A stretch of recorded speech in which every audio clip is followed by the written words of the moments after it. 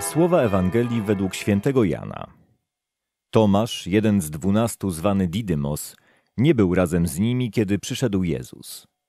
Inni więc uczniowie mówili do niego: Widzieliśmy Pana. Ale on rzekł do nich: Jeżeli na rękach jego nie zobaczę śladu gwoździ i nie włożę palca mego w miejsce gwoździ i nie włożę ręki mojej do boku jego, nie uwierzę. A po ośmiu dniach, kiedy uczniowie jego byli znowu wewnątrz domu i Tomasz z nimi, Jezus przyszedł mimo drzwi zamkniętych. Stanął po środku i rzekł: Pokój wam. Następnie rzekł do Tomasza: Podnieś tutaj swój palec i zobacz moje ręce. Podnieś rękę i włóż ją do mego boku. I nie bądź niedowiarkiem, lecz wierzącym. Tomasz mu odpowiedział: Pan mój i Bóg mój. Powiedział mu Jezus: Uwierzyłeś dlatego, ponieważ mnie ujrzałeś. Błogosławieni, którzy nie widzieli, a uwierzyli.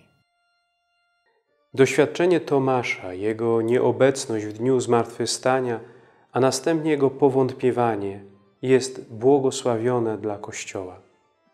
Tomasz porzuca swój upór, kiedy widzi i dotyka Chrystusowych ran.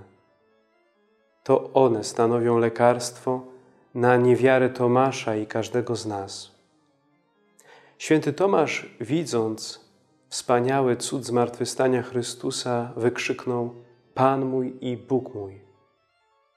Jakiego doświadczenia potrzebuję ja, abym mógł uznać w Chrystusie mojego Pana i Boga? Błogosławieni, którzy nie widzieli, a uwierzyli. Rzeczywiście szczęśliwi, błogosławieni jesteśmy, że uwierzyliśmy w Chrystusa pomimo tego, że nie widzieliśmy Go zmartwychwstałego.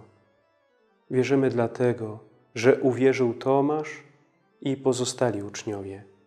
Wierzymy niejako ich wiarą, którą potwierdzili przelaniem krwi.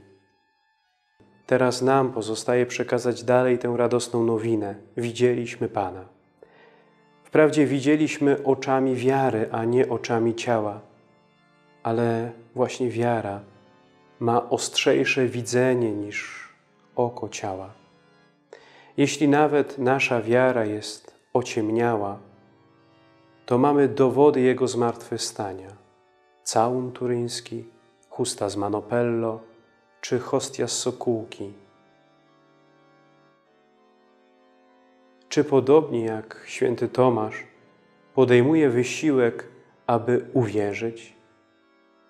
Czy chce na własne oczy zobaczyć, dotknąć intelektem, aby zrozumieć i przekonać się, że to, w co wierzą miliardy chrześcijan przez dwa tysiące lat, jest prawdą, a nie zmyśloną historią?